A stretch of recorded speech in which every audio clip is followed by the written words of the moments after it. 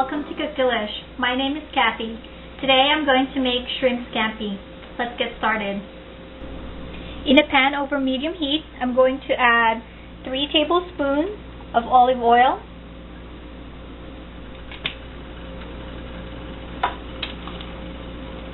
and to that I'm going to add 1 4th cup of butter.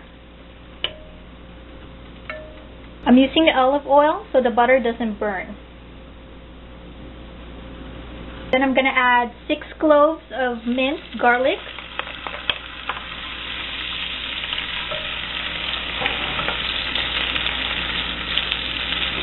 And then about 1 tablespoon of lemon zest.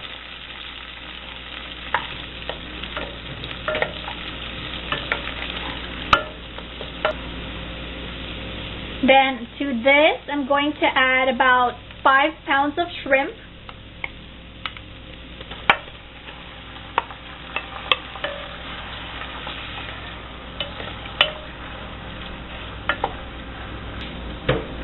About one fourth tablespoon of um, I'm sorry one fourth teaspoon of uh, salt and one fourth teaspoon of pepper.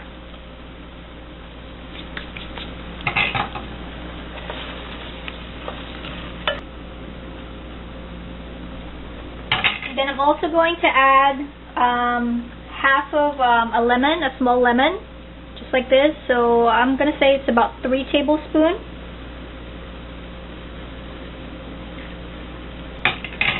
And if you want to add white wine to your shrimp scampi, this is actually the best time to add it. Um, just add like a couple of splashes of white wine or red wine or actually whatever kind of wine you want. For me personally, I can do without the wine. So,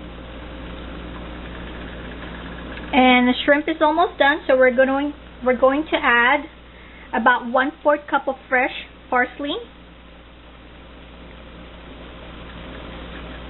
Okay, so the shrimp scampi is done. Um, you know that the shrimp is done when it turns pink.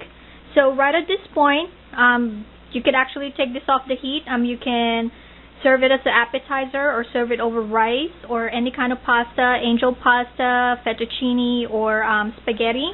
But what I like to do actually is, um, you know, instead of um, making the pasta separate, I'm going to add to this. I'm going to add about one and a half cup of um, chicken chicken broth or vegetable stock, whatever you like. But I'm going to add one um, and a half cup of um, chicken chicken stock.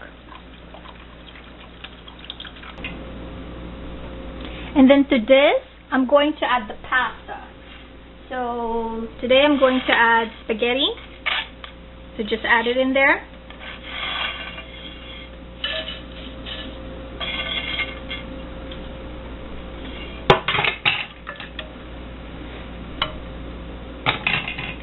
And we're going to cook the pasta for about 7 minutes or until al dente.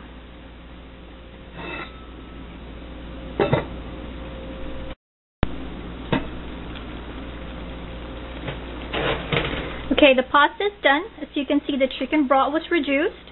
You see right there? That looks good. So we're going to go plate our shrimp scampi.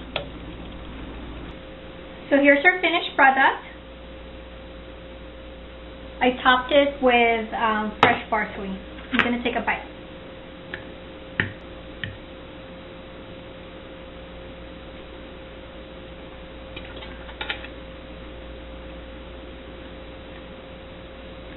It's really good. It's going to be my dinner for tonight. So I hope you like this recipe. And um, if you'd like to see more, please subscribe. And don't forget to like my video. Until next time, bye.